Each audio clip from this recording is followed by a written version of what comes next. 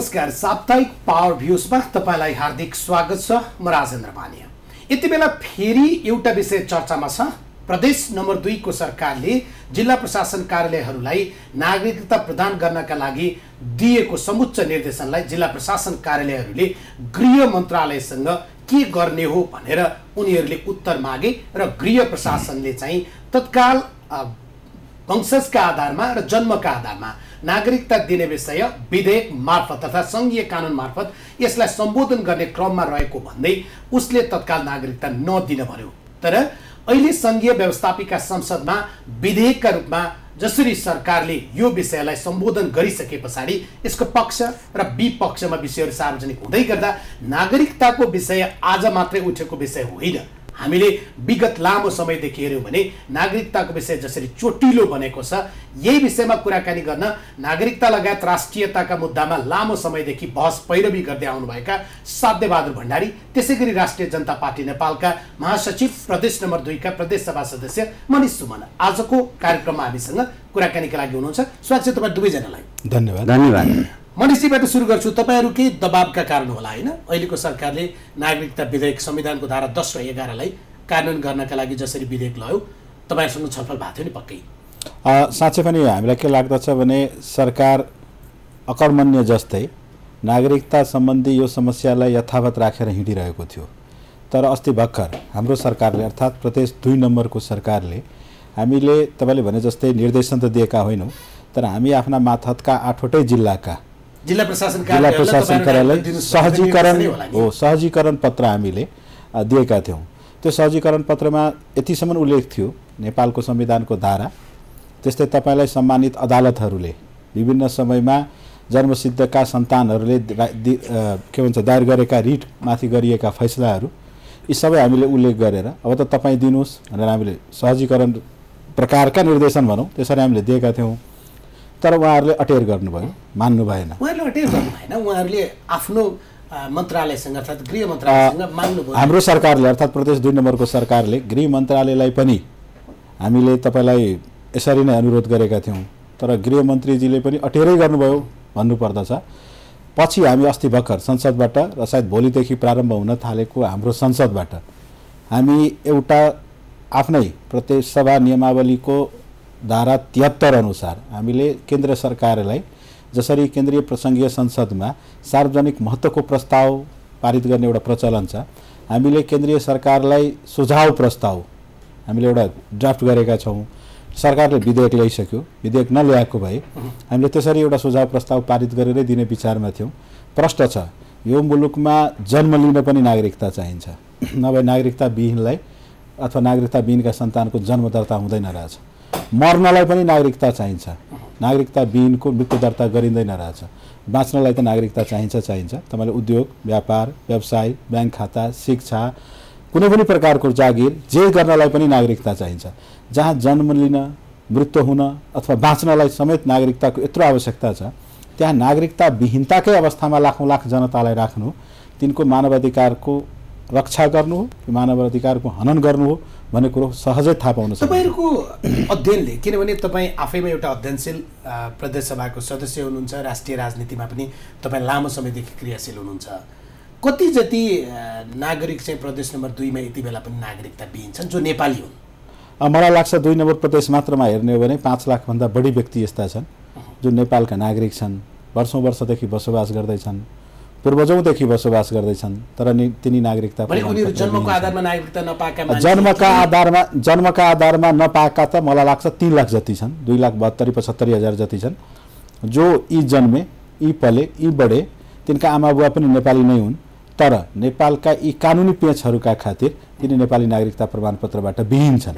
म एकचोटि साध्यबाजुजी कहाँ आउँछु तपाईँले लामो समयदेखि नागरिकताको विषयमा बहस पैरवी गर्दै आउनु भएको छ र तपाईँको आरोप छ नेपाल सरकारले बारम्बार दुई हजार सत्तालिसपछि दुई हजार बहत्तर त्रिहत्तरसम्म आउँदाखेरिमा अथवा अहिलेसम्म नै भनौँ होइन? चालिसौँ लाख नागरिकता चाहिँ गैर नेपाली नागरिकलाई दियो भन्ने तपाईँको आरोप छ। यस्तो छ। तपाईँको यो पनि कुनै डाटा र स्ट्याटसको आधारमै भनिएको कुरा हो। दुई हजार नौ सालमा नागरिकता कानुन अत्यन्त खुकुलो आयो। जन्मको आधारमा नि नागरिकता पाइन्थ्यो बसोबासको आधारमा नि पाइन्थ्यो वंशजको आधारमा नि पाइन्थ्यो पेसा व्यवसाय गरेर नेपालमा बसेको छ भने पनि पाइन्थ्यो। त्यसको लागि चाहिँ नि देशी र देशको देश र देशी र विदेशी भन्ने चाहिँ तपाईँको कुनै भेदभाव थिएन त्यहाँ। त्यो कानुन चाहिँ दुई हजार उन्नाइस सालसम्म रह्यो। उन्नाइस सालमा जब चाहिँ नि भारतले तपाईँको तिस बत्तिस मार्च उन्नाइस सय एकसट्ठीमा एउटा कानुन पारित गर्यो कि भारतले के भन्यो भन्नुहुन्छ भने उन्नाइस सय पचपन्नमा उनीहरूको धाराबाट चाहिँ नागरिकता दिएका थिए। अब कुनै पनि विदेशीहरूलाई चाहिँ उन्नाइस सय सत्तालिसको चाहिँ तपाईँको अगस्त चौध को दिनदेखि दिनमा यदि इन्डियामा छ भने त्यसको प्रमाण पेस गरेको ठाउँमा उन्नाइस सय एकसट्ठी पछि पनि पाइने भयो। नत्र भनेदेखि उन्नाइस सय एकसट्ठी भन्दा पहिले नै गर्नु। हो उनीहरूको उन्नाइस सय एकसट्ठीभन्दा अ, चाहिँ तपाईँको पछि होइन त्योभन्दा पहिल्यै बसेका छन् भने नि सत्तालिसभन्दा पहिला बसेको छन् भने मात्रै होइन एकाउन्नमा आएर बसेका छन् भने पनि नपाइने। त्यो कुरा गरिसकेपछि नेपालले पनि वंशजको आधारमा नागरिकता दिनुपर्छ भनेर चाहिँ तपाईँको चाहिँ दुई हजार उन्नाइस सालको कानुनमा चाहिँ व्यवस्था गर्यो तर विडम्बनाको कुरा के थियो भन्दाखेरि तपाईँको चाहिँ नि छ जुन उन्नाइस सय न बयासीको एउटा चाहिँ तपाईँको भारतीय परराष्ट्र मन्त्रालयको दाबी अनुसार दाबी अनुसार तत्कालीन अवस्थासम्म नेपालमा चाहिँ तपाईँको भारतीयहरूको सङ्ख्या उनीहरूले भारतको मात्रै भनेका छन् होइन? तपाईँको तेह्र लाख चाहिँ दुई हजार चाहिँ ए तेह्र लाख बत्तिस हजार श्रीलङ्काबाट नागरिकता लिएको बिस बिसजना मात्रै भुटानबाट नागरिकता लिएको र अडतिस लाख भारतीयहरू नेपालमा बसोबास गरेका त्यसमध्ये तेइस लाख सतासी हजार नौ सय त्रिहत्तरले भारतीयहरूले नागरिकता लिएको कुरा भारतीय परराष्ट्र मन्त्रालयको स्टेटमेन्टमा त्यो कुरो अब अहिले के हो त भन्दाखेरि हाम्रो चाहिँ तपाईँको चाहिँ अहिले अहिले जुन जन्मको आधारमा नागरिकता एक लाख सत्तरी हजार बयालिसजनालाई जन्मको आधारमा जुन नागरिकता दिएको थियो दुई हजार त्रिसठी सालमा त्यो नागरिकता चाहिँ विवादित नागरिकता हो। त्यसलाई हामीले चाहिँ मान्नु हुँदैन भन्ने ठाउँमा हामी छौँ। किन भन्नुहुन्छ भन्दाखेरि त्यो चाहिँ तपाईँको चार प्रकारले तराईबाट नागरिकता लियो होइन? हुन त अब नेपालमा चाहिँ सोह्रवटा मुलुकका विदेशीहरू छन् होइन? सोह्रवटा मुलुकका विदेशीहरूमध्ये कसैले सिक्किमीहरूले लिएका छन् दार्जिलिङका मानिसहरूले लिएका छन् गढवालका मान्छेहरूले लिएका छन् तिब्बतियनहरूले लिएका छन् श्रीलङ्कालीहरूले लिएका छन् बङ्गलादेशीहरूले लिएका छन् र कश्मीरीहरूले समेत लिएका छन् नेपालबाट। त्यो सबै विदेशीहरूले नागरिकता लिएका छन्। त्यो सबै खारेज गर्नुपर्छ। पहिलो त्यसमा पनि 2063 त्यसमा पनि दुई हजार त्रिसठी सालमा चाहिँ हाम्रो तराईबाट। हाम्रो तराई चाहिँ असुरक्षित भएको कारणले गर्दाखेरि तराईमा चार प्रकारले नागरिकता गयो। एउटा त नेपालभित्र रहेका आफ्ना नातापाता इष्टमित्रलाई देखाएर वंशको नागरिकता जो चाहिँ बाहिरबाट आएर बसेका मान्छेहरू बा अथवा बाहिरै भएका। एउटा दोस्रो चाहिँ टोलीले कब्जा गरेर पनि कतिपय ठाउँमा नागरिकता लियो दुई। तेस्रो चाहिँ पैसा तिरेर तिस हजारसम्म पैसा तिरिएको त रेकर्ड छ हामीसँग। र तेस्रो पैसा तिरेर र चौथोमा आएर जन्मको आधारमा यहाँ बसोबास नगरेका मानिसहरू डेलिभरी गरेर नागरिकता लिएर गएका छन्। जस्तो तपाईँलाई भनौँ दुई ठाउँबाट हामीलाई पाएको रिपोर्टमा दुई ठाउँबाट एउटा चाहिँ सुगौलीमा इधर नेपाली नागरिकता मिल्ता है भनेर एउटा ब्यानरै टाँगेर त्यहाँ बेचिएको थियो। अर्को चाहिँ तपाईँको आ, गोरखपुरमा। गोरखपुरमा पनि त्यस्तै धन्दा भएको थियो। त्यसले गर्दा हाम्रो मुद्दा के हो भने हामीले तराईका आदिवासी रैथाने मधेसी दाजुभाइको रक्षा गर्ने हो भने हामीले त्यो त्रिसठी सालमा वितरण गरिएको नागरिकता चाहिँ हामीले चाहिँ नि पुरै छानबिन गर्नुपर्छ एकछिन। छानबिन गरेर मात्रै पनि यो माग राख्ने तपाईँहरू नै हुनुहुन्थ्यो दलीय हिसाबबाट तपाईँहरू राजपा हुनुहुन्नथ्यो। विभिन्न मधेस केन्द्रीय दलका घटक या अन्य घटकबाट तपाईँहरू नै राजनीतिक मोर्चामा हुनुहुन्थ्यो। अहिलेसम्म जति नागरिकता तपाईँहरूले माग गरेर या सरकारले निर्णय गरेर दियो त्यो चाहिँ कुनै न कुनै रूपमा गलत मानिसको हातमा पर्यो। त्यसकारण यो अहिलेको मुद्दामा पनि हामी असाध्यै संवेदनशील हुनुपर्छ या कानुनबाट असाध्यै कडा प्रावधान नबनाई नागरिकता दिने हुँदैन। अझ छोटो शब्दमा भन्दा बदनियतपूर्ण नागरिकता वितरण गर्न यो सबै प्रपञ्च गरिँदैछ। उहाँको आरोप। होइन यसरी म तपाईँलाई के निवेदन गरौँ भने तात्कालीन दुई हजार त्रिसठी दा सालमा दिइएको नागरिकता चार हिसाबले भन्नुहुन्छ? होइन उहाँका हिसाबहरू म भन्छु तपाईँलाई। दुई हजार त्रिसठी सालमा दिइएका नागरिकताहरू नेपालको अन्तरिम संविधान अनुसार दिइएको अन्तरिम संविधान न त मैले मात्र बनाएँ न त साध्यजीले मात्र बनाउनु भयो। अन्तरिम संविधान जनआन्दोलनबाट बनिएको एउटा उत्कृष्ट संविधान भनिन्थ्यो थियो जसअनुसार दिइयो। नागरिकता समस्याको समाधान तात्कालीन सरकारले गरे हो। उहाँले गलत मानिसको हातमा गयो म भन्दैछु कसरी गलत भयो? एउटा सार्वभौम सत्ता सम्पन्न सुगौलीमा तपाईँ ब्यानरै टाँगिया थियो गोरखपुरमा ब्यानर म भन्दैछु। तिस हजार रुपियाँमा तपाईँ चाहिँ नि म भन्दैछु। नागरिकता बिक्री त्यसरी। त्यसरी ब्यानर झुन्ड्याउने पनि र त्यसरी तिस हजार रुपियाँ थाप्ने पनि ती नागरिकता दिनेहरू राष्ट्र सेवक कर्मचारीहरू नै थिए। दुई हजार त्रिसठी सालमा तिमीले गलत व्यक्तिलाई नागरिकता देऊ भनेर ती नागरिकता दिने माथि कारवाही हुनुपर्छ। पर्दछ। तत्पश्चात मात्र नागरिकता लिने माथि कारवाही हुनुपर्दछ। तत्क्षण पनि एउटा आधार बनाइएको थियो। तपाईँ यहीँको बसोबासी हो। भन्ने एउटा ठोस प्रमाण ल्याउनुहोस् तपाईँ यहाँ विद्यालय पढेको तपाईँ यहाँको अस्पतालमा जन्मेको अथवा केही नभएपछि कमसेकम तपाईँका टोल टोल छिमेकले तपाईँलाई सरजमिन गरिदिएको हो। निज यहीँका वासी हुन् र अहिलेसम्म नागरिकता प्रमाणपत्र पाएका छैनन् भन्ने आधारहरू पुष्ट्याइ गरेपछि मात्र तपाईँलाई नेपाल सरकारबाट। आधार नै सुमनजी असाध्य खुकुलो र नेपाल जस्तो संवेदनशील मुलुकमा यति सहज रूपमा नागरिकता दिन राजेन्द्रजी? राजेन्द्रजी पहिला तपाईँ र म सबै दिमागबाट के हटाउँ भने उहाँले अन्य अन्य सोह्रवटा मुलुकमध्ये पन्ध्रवटाको भन्नुभयो होला त्यहाँको भौगोलिक स्थिति मलाई थाहा छैन। तर भारतमा त्यहाँको नागरिकले जातिगत आधारमा पाउने प्रिभिलेजहरूलाई हेर्नु हुने हो भने मलाई लाग्दैन कोही भारतीय नेपालमा आउँछन्। मेरो फुफाज्यू मेरो फुफाज्यू अहिले भारतबाट अवकाश प्राप्त प्राथमिक विद्यालयको शिक्षक हुनुहुन्छ। अवकाशपछि उनले पाउने पेन्सन छयत्तर हजार रुपैयाँ भारू छ। मेरो बुवा नेपालमा माध्यमिक विद्यालयबाट अवकाश प्राप्त शिक्षक हुनुहुन्छ। उनले पाउने पेन्सन पच्चिस हजार रुपियाँ नेपालीको हाराहारीमा छ। मैले तपाईँलाई के तुलना गरेको छु भने दुवै अवकाश प्राप्त छन्। मेरा फुफाजी पनि अवकाश प्राप्त मेरो बुवा पनि अवकाश प्राप्त। एउटा माध्यमिक विद्यालयको एउटा प्राथमिक विद्यालयको। तर तिनले पाउने रकम र मेरो बुवाले पाउने रकम। मेरो फुपूहरू किन नेपाली नागरिकताको लागि मरिहत्ते गर्छन्? तपाईँले अहिले प्रश्न उठाएको चाहिँ भारतीय। नेपाली नागरिकता पाउँदाखेरिमा अपराधी? अपराधीहरू जो अपराध छन् अपराधी छन् तिनी त कहीँ कतैको नागरिकता लिनलाई राष्ट्र सेवा कर्मचारीलाई त्यही तिस हजार त्यस्ता ब्यानर त्यसरी प्रयोग गरेर लिए होलान्। तिनी त कहीँको पनि लिनु हुँदैन। तिनीहरूसँग दोहोरो नागरिकता तिनवटा मुलुकको नागरिकता दसवटा मुलुकको पासपोर्ट भन्ने कुराहरू हामी सुनिआएका छौँ। तिनका नागरिकताको नागरिकता मान्नु हुँदैन। तर साँच्चै त्यसैको आधारमा कोही सच्चा नेपाली नागरिक सच्चा एकजना कुकुरलाई तपाईँ बिस पच्चिस वर्ष पाल्नुहोस्। त्यसपछि त्यो कुकुरलाई अब त मेरो होइनस् भनेर जा भनेपछि त्यसको आइडेन्टिटी के? त्यो कहाँको रह्यो? एकजना कुकुरसँग त त्यति प्रेम हुँदो रहेछ भने त्यस्ता मानिस जसले गिरिजाप्रसाद कोइरालाको निर्वाचन क्षेत्रमा सबभन्दा बढी मत हाल्ने व्यक्तिहरू नागरिकता बिन प्रमाणपत्रका थिए। जोसँग नागरिकता थिएन सुनसरीको तात्कालीन पाँच नम्बर क्षेत्र। दुई हजार छियालिस साल अथवा ती निर्वाचनहरूको तपाईँले मतदाता नामावली हेर्नुभयो भने त्यसमा मोर देन फिफ्टी पर्सेन्टभन्दा बढी व्यक्ति नागरिकता प्रमाणपत्र विहीन थिए। तिनले चुनेको जनप्रतिनिधि यो मुलुकको जनप्रतिनिधि हुने तिनले चुनेको व्यक्ति यो देशको प्रधानमन्त्री हुने तर तिनी नेपालको नागरिक नहुने। ठिक छ। ती सबै समस्याको एकपटकको समाधानको लागि दुई हजार त्रिसठी सालमा अन्तरिम संविधानले अ, उठेको छ। हजुर। एउटा भारत र नेपालमा नागरिकका रूपमा पाउने सुविधामा जुन प्रकारको फरक छ अघिल्लो संवादमा पनि तपाईँसँग मैले कुरा गरेका थिएँ। किन उनीहरू नेपालको नागरिकता लिन उद्यत हुन्छन्? र उहाँले भनिसक्नुभयो आपराधिक पृष्ठभूमिका मान्छेलाई त जहाँको नागरिकता लिने अर्थात् त्यो दिने कुरासँग राजनीति सम्बन्ध जोडिँदैन।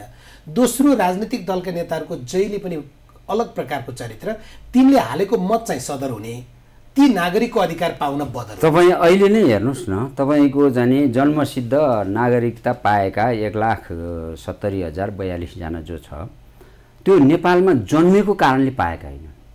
पहिलो कुरा त हामी आठवटा दलले सर्जिमिन गरेर यो यहाँ जन्मेको भनेर लेखिदिएका। बुझ्नु भने के? त्यो आधारमा पाएका हुन्। पहिलो कुरा त कानुनलाई चाहिँ लागू गर्ने शर्तमा त्यहाँ नै सबैभन्दा ठुलो गल्ती भएको छ। उहाँको कुरामा म कहाँ सहमत छु भने त्यसरी नागरिकता दिने सिडिओहरू पहिला कारवाहीको दायरामा उनीहरूलाई ल्याउनु पर्यो। बुझ्नु भने कि? जसले गैर नागरिकहरूलाई नागरिकता वितरण गरेको छ र राष्ट्रियतामाथि प्रहार गरेको छ। मैले त तपाईँको जाने त्यो पञ्चायत कालमा पनि थियो। तपाईँको अहिले यहाँ नडाटी भन्दाखेरि बानेश्वरमा सिडिओ टोल छ। त्यो सिडिओ टोल भने के हो त भन्दा तराईमा गएर नागरिकता बिक्री गरेर यहाँ ल्याएर घर बनाएर बस्नेहरूको। म उहाँहरूमाथि फेरि सम्मान गर्छु है जो असल छन् होइन? एकै ठाउँमा बस्यो होला तर त्यो तर त्यो चाहिँ तपाईँको त्यस्तो खालको प्रवृत्ति त्यतिखेर पनि थियो। अब हाम्रो समस्या कहाँ हो त भन्नुहुन्छ भने तराईको अठार सय आस अस्सी किलोमिटर नेपाल र भारतको सिमाना खुला छ होइन? खुला भएपछि अनि नेपाल भारतको चाहिँ तपाईँको अत्यन्त धेरै जनसङ्ख्या भएको युपी बिहार पश्चिम बङ्गालमा करिब चालिस करोड जनसङ्ख्या छन्। त्यो चालिस करोड समृद्धि भन्ने कस्तो कुरो हुन्छ भन्दाखेरि पुँजीवादी समृद्धिले गरिबी बढ्ता जन्माउँछ क्या? होइन? त्यसलाई हामीले हेर्नुपर्छ। त्यस कारण चाहिँ नि भारतमा चाहिँ अब योभन्दा हामीले चौसठी सालमा एउटा चाहिँ पत्र पत्रिकाको रेकर्डमा सात करोड चान्तुन थियो होइन? तर उना त्योभन्दा पछिको जनगणना अनुसार प्रत्येक वर्ष भारतमा एक करोड बयासी लाख मानिसहरू वृद्धि भइरहेका छन्। त्यसमध्ये अत्याधिक धेरै चालिस करोडको वरपर त युपी बिहार पश्चिम बङ्गालमा छन्। र त्यसको पच्चिस प्रतिशत हिस्सा अथवा दस करोड मानिसहरू कङ्गालीकरण छन्। भनेको जाने सीमान्तकृत भएका छन्।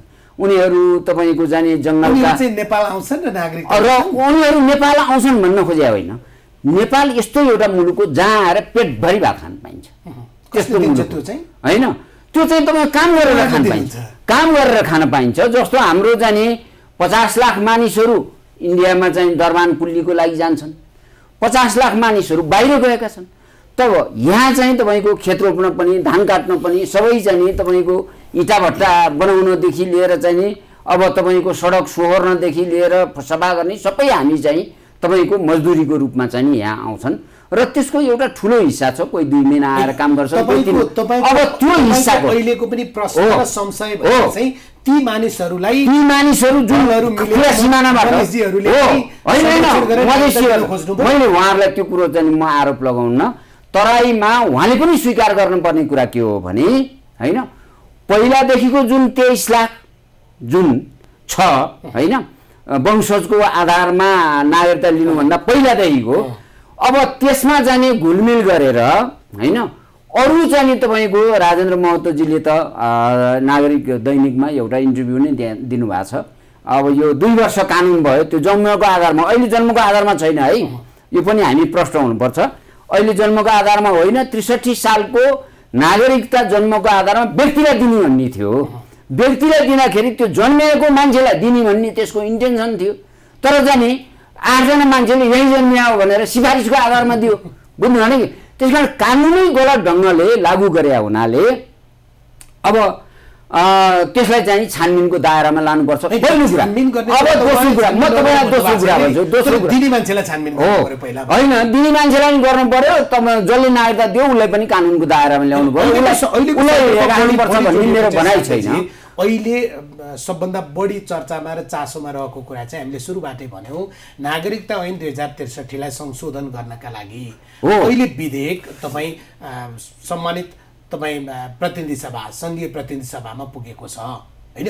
त्यो विधेयकले दुई हजार बहत्तर असोज तिनभन्दा अगाडि जन्मिएका सबैलाई नेपाली नागरिकता दिने भन्छ। यो विषय सबभन्दा बढी चासोको विषय होइन र यो गैर नेपाली नागरिकलाई दिने भएन हो र होइन गैर नेपालीलाई भनेर त कहिले पनि भन्दैन राष्ट्रघात जतिसुकै गर्नेले नि म राष्ट्रघात जोड्छु भनेर भन्दैनन् होइन? त्यो चाहिँ तर म यहाँ तपाईँलाई के भन्न चाहन्छु भने जितेन नारायण देवले दुई हजार चौन्न सालमा नागरिकता वितरण गर्नुभयो। छयासीवटा टोली बनाएको थियो त्यतिखेर तराईको बिसवटा जिल्लाबाट नागरिकता गयो। त्यसको जाने एउटा परीक्षण एउटा मात्रै ठाउँमा परीक्षण भयो। हामी बुझ्नु भने के अनुसन्धान भयो। कति नागरिकता गएको रहेछ त भन्दाखेरि पर्सा जिल्लाको भाडा भन्ने गाउँ गाउँ विकास समितिमा नागरिकताको छानबिन गर्दाखेरि पन्चानब्बे प्रतिशत नागरिकता चाहिँ इन्डियाबाट आएर लिएका रहेछन्। बुझ्नु भने कि? त्यो कुरा त्यहाँ तथ्य पत्ता लगाइसकेपछि त्यो चौतिस हजार नब्बे नागरिकता उहाँले वितरण गरेको नागरिकता पछि सर्वोच्च अदालतले खारेज गर्यो। यो खालको नजिर पनि हामीसँग छ एउटा कुरा। अब दोस्रो कुरा चाहिँ तपाईँको जाने मेघराज ग्यावली भन्ने मेरो साथी माओवादीको केन्द्रीय समितिमा पनि थिए पहिला। पछि उनी चाहिँ तपाईँको सल्लाहकार समितिमा भए चौसठी सालमा चुनाव लड्दाखेरि उहाँ चाहिँ तपाईँको तौलिया जिल्लाको छ नम्बर क्षेत्रको उनको जाने दसौँ मञ्च चाहिँ इन्डियातिर भयो। मञ्च। दसौँतिर दसौँ मञ्च यो तपाईँ हाँसो लाग्दो कुरो छ कि किन इन्डियातिर राख्नुभयो त भन्दाखेरि त्यहाँ नेपाली नागरिकता नलिने भारततिर बसोबास गर्ने सीमान्त के अरे सीमावर्ती क्षेत्रका मान्छे कोही पनि थिएन।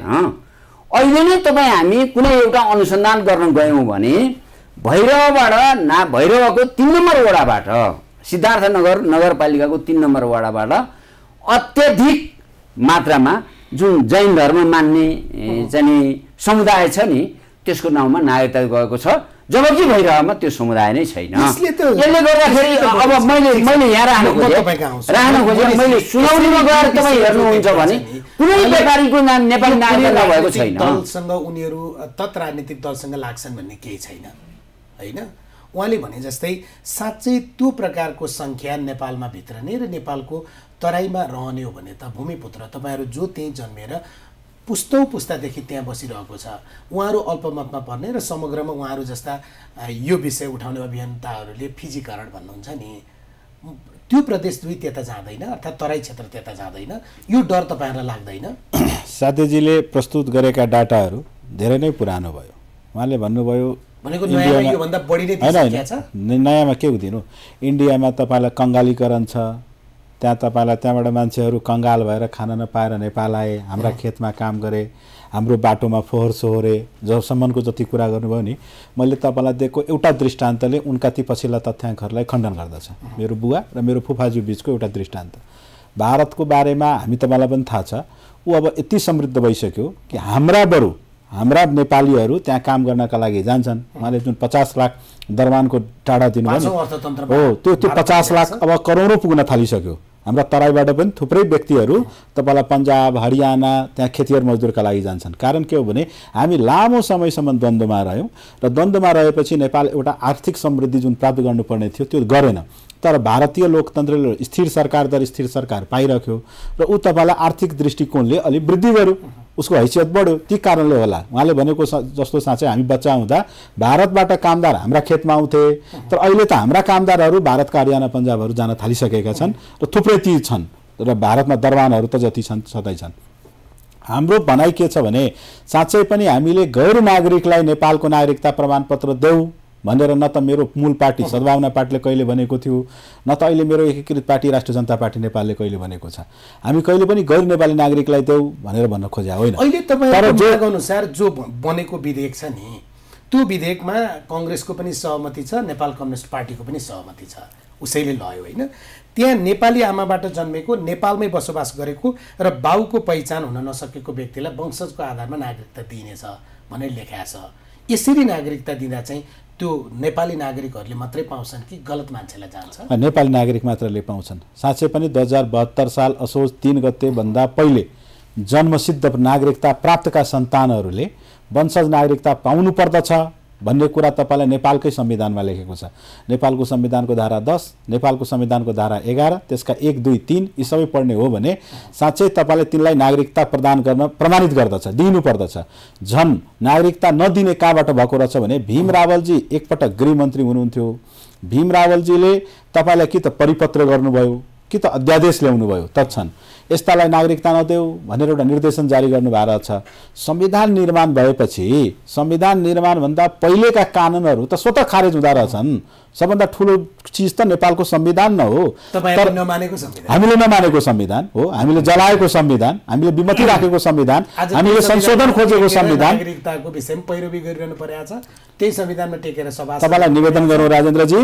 हामीले नेपालको संविधान दुई हजार बहत्तर सबै नेपालीको संविधान बनाऊ। भनेर त्यसमा आवश्यक संशोधन खोजेकै हौँ आन्दोलन पनि त्यसैका लागि गरेका थियौँ र त्यो अधुरो अपुरो संविधान कुनै खास जाति विशेष मात्रको देखिन्छ सिङ्गो नेपालको नेपालको मधेसी समुदायको नेपालको आदिवासी जनजाति समुदायको सबैको मैत्रीपूर्ण भाव अधिकार त्यो संविधानप्रति देखिँदैन र त्यो देखिनुको एउटा मात्र कारण के छ भने त्यो मधेस मैत्री छैन मधेस मैत्री बनाउने बाटो भनेको संशोधन रहेछ त्यो त अर्को अहिले अहिले अहिले अहिले हो अर्को सन्दर्भ गरौँला तर त्यो थुप्रै संविधान राजेन्द्रजी म क्लियर गरौँ भन्नुभएको छ नि हजुर। नेपाली आमाबाट जन्मेको नेपालमै बसोबास गरेको। र बाबुको पहिचान नभएको।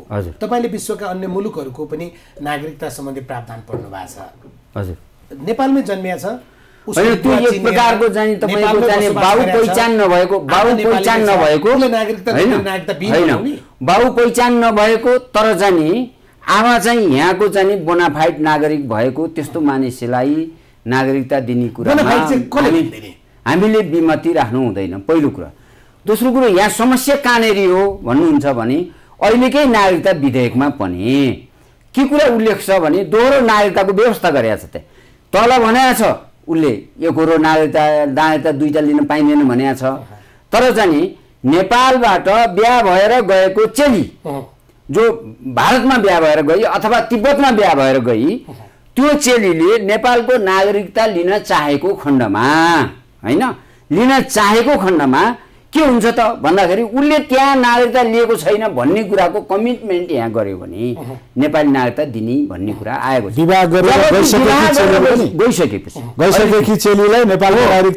त्यसरी ल्याएको छ त्यो प्रावधान म पढेर सुनाउँछु। मनिषजीले पनि चासो राख्नुभयो। नेपाली महिलाले नेपालको नागरिकता प्राप्त गर्नुभन्दा अघि विदेशीसँग बिहा गरेकै। नेपाली नागरिकता प्राप्त गर्ने अधिकारबाट वञ्चित हुनु नपर्ने। त्यस्ता महिलाले नागरिकता पाउन पतिको देशको नागरिकता नलिएको या त्याग गरेको प्रमाणपत्र पेश गर्यो त बच्चा हो। बुझ्नु भएन कि? जबकि संसारभरि नागरिकताको सिस्टम भने दुईवटा छ। एउटा जन्मको आधारमा एउटा चाहिँ तपाईँको चाहिँ नि वंशजको आधारमा। जहाँ जनसङ्ख्या अलिक घनत्व बढ्दा छ त्यहाँ वंशजको आधारमा नागरिकता लिने चलन छ। चिनमा भारतमा नेपालमा जन्मको आधारमा दिँदैन। होइन? तर चाहिँ नि जहाँ जनसङ्ख्याको जनसङ्ख्या चाहिँ तपाईँको एक्सपोर्ट गर्नुपर्ने आवश्यकता छ कम छ जस्तो अमेरिकामा भयो जस्तो चाहिँ बेलायतमा भयो यस्ता ठाउँहरूमा वंशजको आधारमा पाउने कुरा त भइहाल्यो। जन्मको आधारमा पनि उनीहरू नागरिकता दिन्छन्। त्यो चाहिँ विदेशीहरूलाई आफ्नो देशमा होइन भित्र्याउनको लागि उनीहरूले कामदार ग्रुपमा भित्र्याउने एउटा अभियान अन्तर्गत त्यो काम गरेका छन्। तर हाम्रो हामी हाम्रो मुलुक चाहिँ कस्तो हो भने सबैभन्दा संसारको धेरै जनसङ्ख्या भएको उत्तरतिर छ। त्यो पनि एक प्रकारले खुला जस्तै छ सिमाना होइन? र सबैभन्दा अर्को दोस्रो जनसङ्ख्या घनत्व भएको दुई हजार पचासमा त यताको बढी हुन्छ होइन? यता छ जसमा पुरै सिमाना खुला छ होइन? अब यसले गर्दाखेरि चाहिँ नि अनि हामीले फिजिकरणको मुद्दा किन उठा त भन्दाखेरि तपाईँको सग्लो टाउको हिमाल एउटा टाउको हो पहाड चाहिँ तपाईँको हाम्रो ढाड हो भने खुट्टा चाहिँ हाम्रो चाहिँ तपाईँको चाहिँ एक प्रकारको तराई हो। तराईबाट तपाईँको राष्ट्रियतामाथि कुण्ठित हुँदै गयो भने त पहाड पनि जान्छ हिमाल पनि जान्छ। तपाईँको तराईको मात्रै कुरा होइन। त्यस कारण हामीले चाहिँ तपाईँहरूले चिन्ता चाहिँ तराई मात्रै टुक्रेर जान्छ भन्ने हुन्छ। कहिले टाउको टुक्रिन्छ होइन। टुक्रिन्छ। तपाईँको चाहिँ अहिले दुई नम्बरमा दुई नम्बरमा किन टाउको किन यति धेरै दुख्यो? भन्नु न। समस्या? दुई नम्बरमा मात्रै त होइन। एक लाख बहत्तर एक लाख सत्तरी हजार बयालिसजना नागरिकता चाहिँ लिएको त देशभरिबाट हो दुई नम्बरबाट मात्रै त होइन। अब त्यहाँ पाँच नम्बरमा नि टाउको नदुख्ने एक नम्बरमा नि नदुख्ने तराई नै छ नि त्यहाँ पनि होइन? छ नम्बरमा नि तराई छ सात नम्बरमा नि तराई छ त्यता कन्तै टाउको नदुख्ने तर त्यहाँको जाने तपाईँको जाने सरकारले चाहिँ परिपत्र जारी गर्ने र उसले चाहिँ नि गैर कानुनी भए पनि सङ्घीय कानुन अनुसार नागरिकता पाउने हो। प्रदेशले नागरिकता दिने अधिकारै छैन होइन? भनेपछि ल आफ्नो आफ्नो वरपरको सिडिओलबाट ल नागरिकता दिए भनेर चाहिँ नि आदेश फरमान जारी गर्छ। होइन? त्यसले गर्दाखेरि हाम्रा साथीहरूले के नगरून् होइन। हाम्रो तराईका साथीहरूले के नगरून् भन्दाखेरि विदेशीलाई यसरी भित्र्याउँदै जाँदा आफू अल्पमतमा पर्ने भोलि सुमनजीहरू अल्पमतमा पर्नु भने हामी पनि त अल्पमतमा परे हो नि? बुझ्नु भएन कि? हाम्रो पाहाडमा अलिकति बस्ती होला खुट्टामा आफै बन्चरो हान्दै हुनुहुन्छ। हो। भन्ने उहाँको जो आरोप छ होइन हामीप्रति चिन्ता गरेकोमा उहाँलाई धेरै धेरै धन्यवाद छ। तर हामी धेरै राम्ररी थाहा भएर प्रष्टले र तपाईँलाई एकदम वास्तविकतालाई अँगाल्दै हामीले त्यो परिपत्र जारी गर्न सरकारले हाम्रो सरकारले निर्देशन जारी गरे हो अथवा त्यो एउटा सहजीकरण पत्र जारी गरे हो। दुई नम्बर प्रदेश मात्रको टाउको किन दुख्यो? भन्दा साँच्चै भन्ने हो भने नागरिकता समस्या सबभन्दा बढी मधेसी समुदायमा छ। काठमाडौँकै नेवार असनमा पनि छ नभएका होइनन्। टिबेटका ती जनताहरू त्यो के भन्छ हाम्रा हिमाली क्षेत्रमा पनि छन् होलान्। मैले भनिसकेँ राजधानीमा पनि समस्या छ। तर त्यहाँका जनताको टाउको किन दुख्दैन? मधेसका जनताको टाउको किन दुख्दछ? भन्ने कुरो यी यस्तै साध्यजीहरूले नागरिकताको विषयमा तपाईँहरू अलि बढी किन यति धेरै चाहिँ सेन्सिटिभ भएको भनेपछि सिमाना व्यवस्थितको मुद्दा जति हामीबाट उठेको छ त्यति उहाँहरूबाट उठेको छैन। उहाँहरूले सधैँ हामी सीमा व्यवस्थापन गरौँ भारत सीमा प्रतिदिन प्रतिदिन सीमाको सुरक्षा हामीले गरेका छौँ। प्रतिदिन सीमाको व्यवस्थापन हामीले गरेका छौँ। कसले उठाइदिएको छ? कसले गएर त्यहाँ नेपालको सीमाको तपाईँलाई सुरक्षा गरिदिएको छ? मेरै निर्वाचन क्षेत्रको निर्वाचन। होइन उहाँहरू उहाँहरूको अभियान उहाँहरूको। अभियान काठमाडौँ केन्द्रीकृत पत्र पत्रिका केन्द्रीकृत तर मैले हामीले मेरै निर्वाचन क्षेत्रमा पनि तिलाठी पर्दछ तपाईँलाई नर्गो पर्दछ। थुप्रै त्यो अठार सय बिस किलोमिटर मध्ये केही किलोमिटर त सत्तरीबाटै गुज्रिन्छ।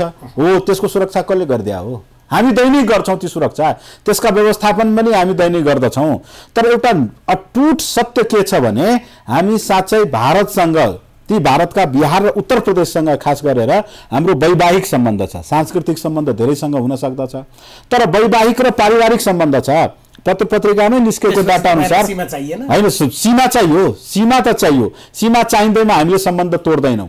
छिमेकीको पर्खाल र मेरो पर्खाल बिचमा एउटा पर्खाल पर्दैमा हामीले छिमेकीको तरकारी चाख्न हुँदैन अथवा छिमेकीलाई हामीले कुनै प्रकारको उपहार दिनु हुँदैन सम्बन्धै राख्नु हुँदैन पर्खाल लाएका छौँ नि भनेर भन्नु हुँदैन। तपाईँलाई यस्तो अटुट सम्बन्ध छ सेम डेटमा हामी छठी मनाउँछौँ सेम डेटमा हामी होली मनाउँछौँ सेम डेटमा हामी ईद मनाइरहेका हुन्छौँ। वैवाहिक सम्बन्ध छ। बाइस लाख चेली बाइस लाख चेली मधेस मात्रका बिहार र उत्तर प्रदेशमा। ब्याएर गएका छन्। छब्बिस लाख चेली बिहार र उत्तर प्रदेशका। हामीतिर ब्याएर आएका छन्। अहिले जो बनाइएको छ उहाँले एउटा प्रश्न उठाउनु भएको छ। नेपाली चेली विदेशीसँग बिहे गरेर गयो। उसले नेपालमा नागरिकता पाएको थिएन। अब उसले आफ्नो पतिको देशको नागरिकता लिन्न या त्याग गर्यो। नागरिकताबाट राजेन्द्रजी छोराछोरीको नागरिकता के हुन्छ? मेरो मेरो प्रति प्रश्न। देश प्रतिशतात्मक छ। हामी तपाईँसँग अहिले प्रतिशतात्मक छौँ। साँच्चै तपाईँलाई पुरुषलाई बढी अधिकार दिइएको छ। तर नागरिकताभन्दा पनि अलिक फरक सन्दर्भमा हेर्ने हो भने अब पुरुष र महिलाको अधिकार सबै ठाउँमा समान गरिँदैछ। नागरिकताकै परिप्रेक्ष्यमा हेर्ने हो भने पनि बुवा मात्रको होइन। आमालाई पनि आधार मानेर तिनकै ना नाताले पनि तपाईँलाई अब सन्तानले नागरिकता पाउने व्यव- सुविस्ताहरू गरिँदैछ। यी सबैमा साध्यजीहरू सहमत हुनुहुन्छ। यस्तो अवस्थामा ब्याएर पनि कसैले अर्को देशको नेसनालिटी स्वीकार गरेको छैन भने यो देशको नेसनालिटी उसको सुरक्षित हुनु पर्यो कि मेरो नहुनु पर्ने? प्रश्न त्यो होइन। मेरो प्रश्न के हो मनिषजी भने ठिक छ। उहाँ नेपाली नागरिक हुनुहुन्थ्यो या नागरिकता लिनुभएको थियो या लिनुभएको थिएन। उहाँ बिहे गरेर अहिलेलाई भारत नै भनौँ। भारत जानुभयो। म मेरो पतिको देशको नागरिकता लिन्न लिन्न भन्नुभयो। होइन? तपाईँले अहिले सरकारले प्रस्ताव गरेको विधेयक अनुसार अब उहाँले नेपाली नागरिकता पाउनुहुन्छ। होइन? अब उहाँको छोराछोरी हामी आमाको नाममा पनि नागरिकता दिने भनेका छौँ। उहाँको छोराछोरी नाति नातिनी सबैलाई नेपालको नागरिकता दिन सक्छौँ त हामी? मैले भनिसकेँ मेरी बहिनीले इन्डियाको नेसनालिटी स्वीकार गरिनन्। विधेयकमा लेखे जस्तै एकछिनको लागि। मेरी छोरीले इन्डिया बिहा गरे पनि इन्डियाको नेसनालिटी स्वीकार गरिनन्। यस्तो अवस्थामा उसको नेसनालिटी के? तपाईँको उसको आइडेन्टिटी के? उसले नागरिकता लेखी थिएनन् नागरिकता उसले नागरिकता लेखी थिएनन् भारतको नागरिकता स्वीकार गरिनन् अथवा भारतको नागरिकता परित्याग गरी। यस्तो खण्डमा निज र निजका सन्तानहरू नेपालका नागरिक हो कि होइनन्? ज्वाइँ होइन। ज्वाइँ होइन। भनिसके। ज्वाइँ होइन। ज्वाइँ होइन तर सन्तानमाथि सबभन्दा पहिलो अधिकार आमाको हुँदो रहेछ। आमा जहाँ अहिले पनि हामी धेरै दिनदेखि तपाईँलाई समतावादी समाज निर्माण गर्न के आन्दोलन उठाइरहेका थियौँ भने बुवाको थरबाट मात्र बच्चाको थर किन राख्ने? बुवाको नागरिकताबाट बच्चाको नागरिकता मात्र किन राख्ने? नागरिकतामा आमाको पनि त्यतिकै अधिकार हुनुपर्दछ आमाकै नागरिक नामबाट पनि पाउनु पर्दछ यी सबै कुरा सर्वस्वीकार्य भइसकेपछि आज आज आमाले अर्को मुलुकमा जाँदा उहाँले त पाँचवटा नजाँदा। त्यहाँनिर विधेयकमा छ नजाँदा? भारतमा भारतको नेसनालिटी स्वीकार नगर्दा अथवा भारतको नेसनालिटीलाई परित्याग गर्दा मात्र निज नेपाली हुन्। निज नेपाली हुन् भने निजका सन्तान के हुन्? यी सबै उसको- सुन्नुहोस्। उसको बुवा सुन्नुहोस्। यी सबै होइन बुवा बुवा। बुवाको नेसनालिटी उसले स्वीकार गरेन। त्यो बच्चा पनि आमाको पहिलो हक हो। बच्चाले पनि नेपालमा निवेदन दियो।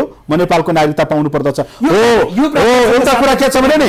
एउटा कुरा के छ भने नि राजेन्द्रजी त्यो बच्चा भारतको पनि नागरिकता एप्लाई गरेका छ भने दुई देशको दोहोरो नागरिकता लिनु हुँदैन त्यतिखेर बर्खास्त तर उसले नेपालको नागरिकता मात्र एप्लाई गरेका छ भने मैले यसलाई के भनेको छु भने हाम्रो फिजिकरण चाहिँ उत्तर र दक्षिणबाट हुने भयो होइन फिजिकरण त मधेस हुने भयो मधेसमा मधेसमा। उहाँहरू आएर हुनु सान्दर्भिक? बाध्यता राजा जनक मधेसी। थिए राजा मधेसी थिए। त्यहाँ आएर लिगलिगे दौरमा जितेकाहरू गोर्खाका राजाहरू आएर अब त्यो मेरो भूमि हो यहाँ म कानुन बनाउँछु यहाँको नागरिकता म दिन्छु म यहाँको राजा हुँ तिमीहरूलाई म संरक्षण दिन्छु भन्ने जस्ता दम्ब पालेपछि मधेस पो फिजिकरण कुरा के हुनुपर्छ भन्दाखेरि? तर मेरो यो सन्दर्भ तपाईँको यो यो चाहिँ यो कानुनी रूपमा त्रुटि हो होइन? यस्तो खालको कानुन बन्यो भने देश तीव्र गतिमा फिजिकरणमा जान्छ होइन? त्यसकारण यो सरकारले ल्याएको जुन विधेयक छ अहिले पुरै चाहिँ तपाईँको खारेज गर्नुपर्ने विधेयक छ र यसको विरोध गर्नुपर्छ। हामीले पहिलो कुरा। दोस्रो कुरा सरकारले खारेज गर्नुपर्छ भने चाहिँ विधेयक ल्याउनु हुँदैन। उहाँले भन्नुभएको छ नि बच्चा जन्माउने आमाको पहिलो हक होइन आमाको पहिलो हक हो यो। तर एउटा संसारभरिको मान्यता के हो भने एउटा नागरिक एउटा देशको चाहिँ नागरिक बन्न सक्छ। जो उसको छोराछोरीले। जसले उसको वीर्य जसले रोज्छे होइन? जसको वीर्य उसले रोज्छे त्यही उसको सन्तान हुन्छ। तपाईँको जाने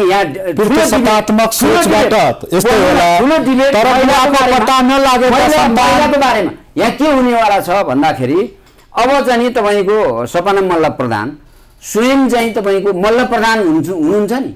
उहाँ त श्रीमती श्रीमानको चाहिँ तपाईँको आफ्नो लिनुभयो।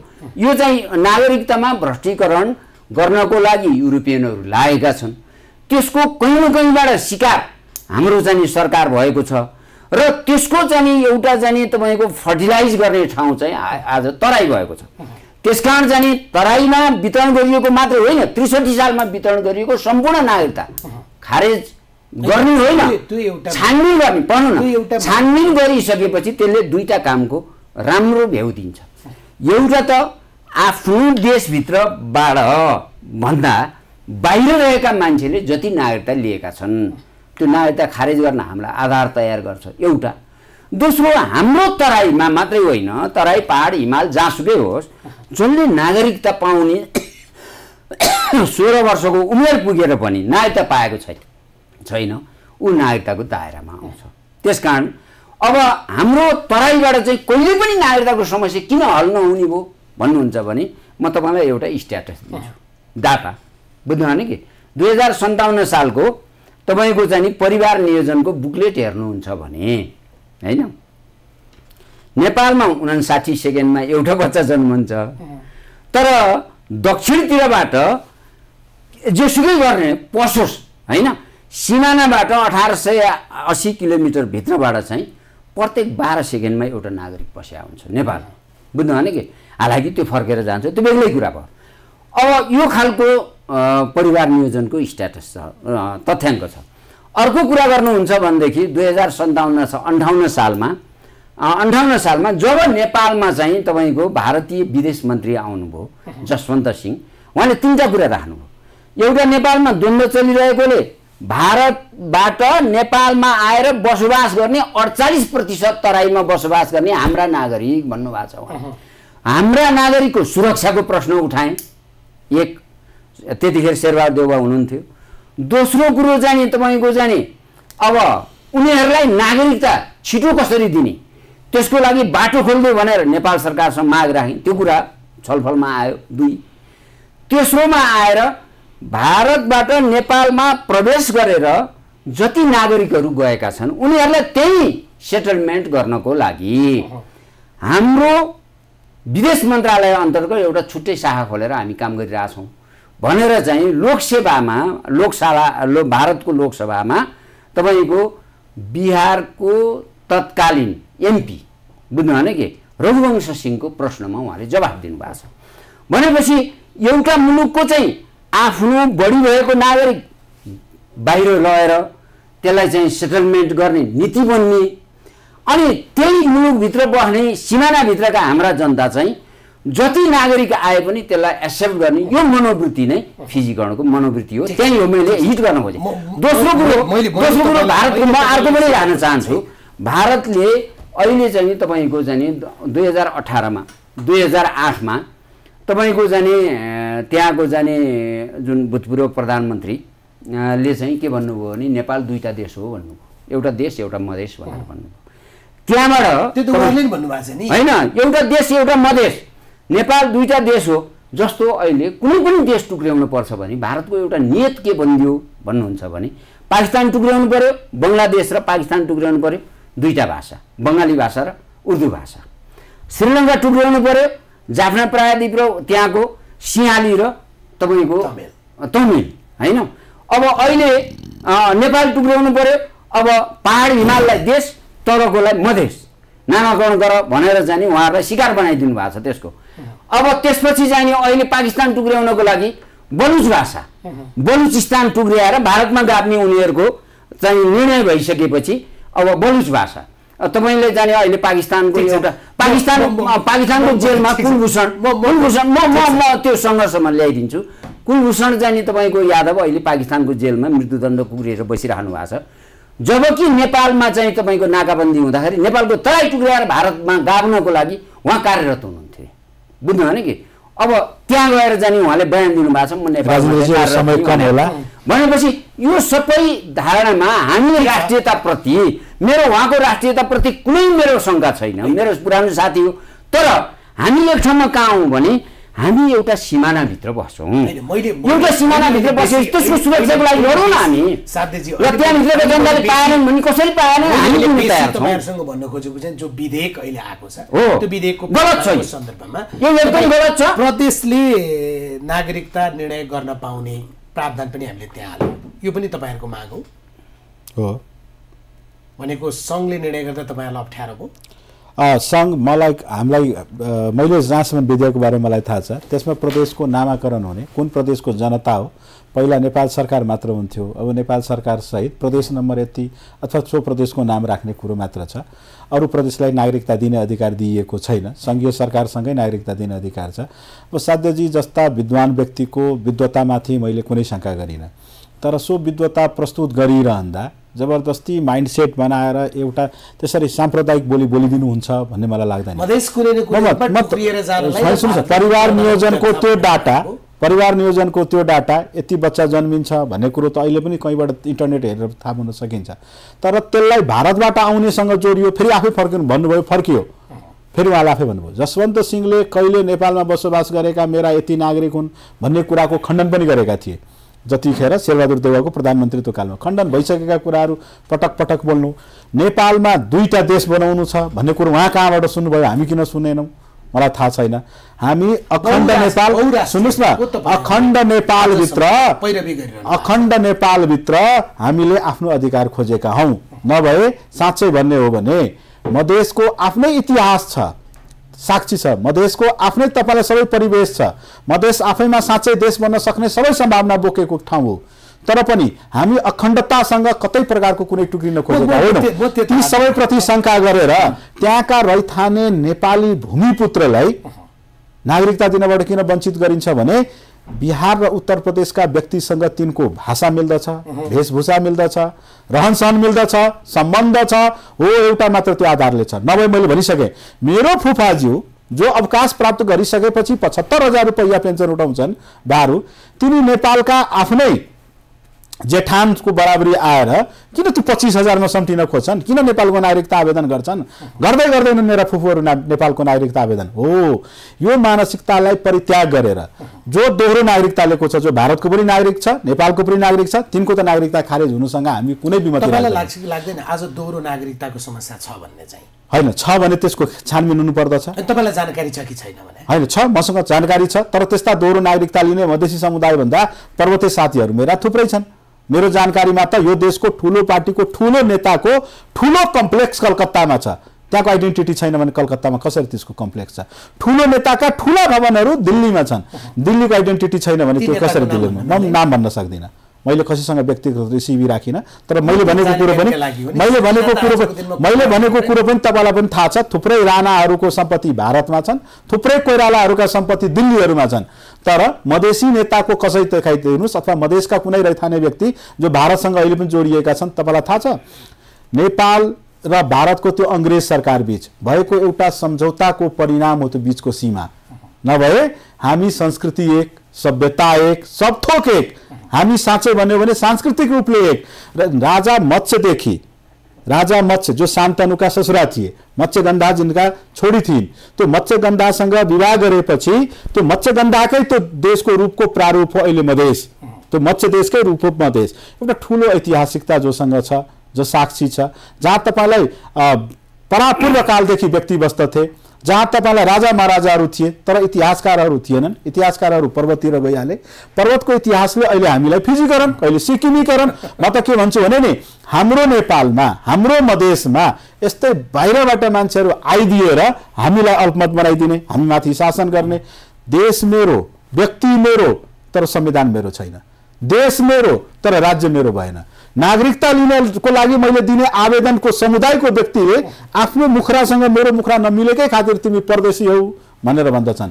जहिले पनि साध्यजी र साध्यजीका मित्रहरूले हामीलाई विदेशी स्वरूप हेरिरहनु पहिला त यो भनाइको एकदम मैले तपाईँ जस्तो व्यक्ति भने तपाईँ मात्र होइन। एउटा के। मानसिकताबाट छ भने खुला सिमानाबाट आएका सिमाना भएपछि सबैजना भारतबाट आएका। नागरिकता हत्याउनेहरूको एउटा ठुलो डफा नेपालमा भइसक्यो।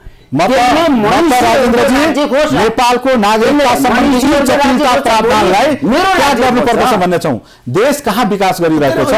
नेपालभन्दा बढी समृद्धि अमेरिकामा छ कि छैन? तर अमेरिकाको नागरिकता हामीले टिभी भर्दैन पाउँछौँ। यति यति सहजता बनाएर अहिले विधेयक ल्याइएको छ। उमेर पनि नागरिकता प्राप्त गरेपछि सच्याउन सक्ने इन्डियामा त्यो ठुलो समस्या हो।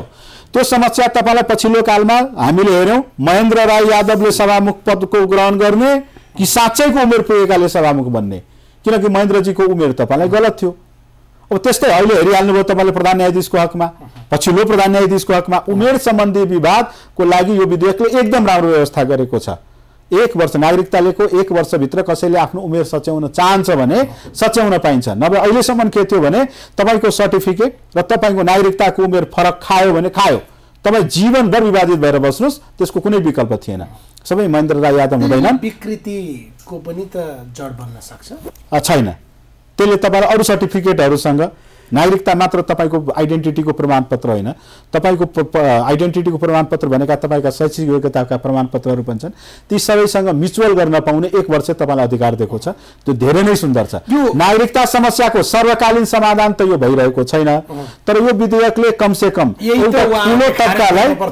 उहाँले भनेर हुँदैन। नेपालको कानुनले तत्कालीन जनआन्दोलनबाट बनेको अन्तरिम संविधानले दुई हजार त्रिसठी सालमा नागरिकता समस्याको एकपटकको समाधानको लागि त्यो नियम ल्याएको थियो। आठजनाले सहर जमिन गर्दैमा होइन आठवटा पार्टीले सिफारिस गर्दैमा होइन तिनी साक्षी किनारा बसेका छन्। हो निज यहीँको बसोबासी हो। त्यसले कहिले बिजुलीको बिल तिरेको छ भने त्यसले कुनै विद्यालय पढेको छ भने अथवा त्यो त्यहीँको बसोबासी भएको प्रमाणहरू बुझाए बापत त्रिसठी सालमा निजले नागरिकता पाएका हुन्। त्योबाट फठ्याइ गरेर कुनै राष्ट्र सेवक कर्मचारी पर्वतीय साथीलाई पैसा तिस हजार त्यसरी ब्यानर झुन्ड्याएर लिएका नागरिकताहरू धमाधम खारेज हुँदैछन्। त्यसरी नियम नपुर्याएर लिएका नागरिकताहरू खारेज हुनु पनि पर्दछ। तर त्रिसठी सालको सबै नागरिकता खारेज हुनु पर्दछ। त्रिसठी सालको सबै नागरिकताको छानबिन हुनु पर्दछ।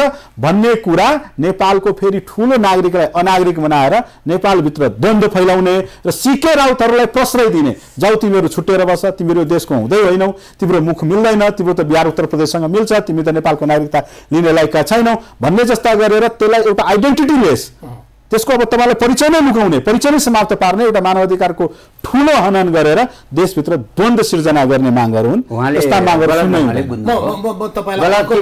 भन्दाखेरि छानबिन गर्ने भनेको सबै खारेज गर्ने भने होइन। यो गैर आवासीय नेपालीहरूलाई। नागरिकता दिने तर राजनीतिक अधिकार चाहिँ नदिने भन्ने छ नि। त्यो त आइडेन्टिटी हो मात्रै जस्तो लाग्छ मलाई। पत्रको नाउँ नागरिकता नराख्या भए हुन्थ्यो होइन? त्यो भिसा दिया जस्तो हो त्यो होइन? अथवा जाने जब जाने राजनैतिक अधिकारै हुँदैन भनेदेखि त्यो नागरिकता होइन होइन? तर त्यो आइडेन्टिटीले उहाँहरूको मागलाई सम्बोधन गर्छ भने हामीले त्यसलाई समर्थन गर्नुपर्छ। अब अर्को कुरा चाहिँ तपाईँको जाने अब छोटोमा के हो भन्नुहुन्छ भन्दाखेरि हाम्रो नागरिकताको समस्या मूल कुरो चाहिँ नि हामीले सिमानालाई बन्द नगरेसम्म। मैले भनिहालेँ। होइन, तपाईँको म किन त भन्दाखेरि मैले अन्ठाउन्न सालको फेरि पनि तपाईँलाई सिनासको रिपोर्ट अगाडि सार्छु। प्रत्येक वर्ष उहाँले चाहिँ नि होइन युपी बिहार पश्चिम बङ्गालबाट आएर नेपालमा बसोबास गर्नेको सङ्ख्या मात्रै। प्रत्येक वर्ष दुई लाखभन्दा बेसी मानिसहरू स्थायी बसोबास धन्यवाद।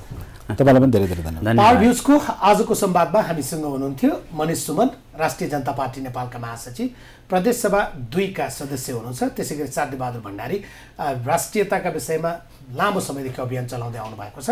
उहाँहरूसँगको यही कुराकानी खास गरी नागरिकता विधेयक जो संसदमा दर्ता भएको छ दुई हजार त्रिसठीको नागरिकता ऐनलाई संशोधन गर्नका लागि यही विषयको सेरोफेरोमा र नेपालको नागरिकता समस्याका विषयमा कुराकानी प्रस्तुत गऱ्यौँ कार्यक्रम सकिन्छ खबरभित्रको खबरका लागि हेर्दै रहनुहोला एभी न्युज खबर। नमस्कार।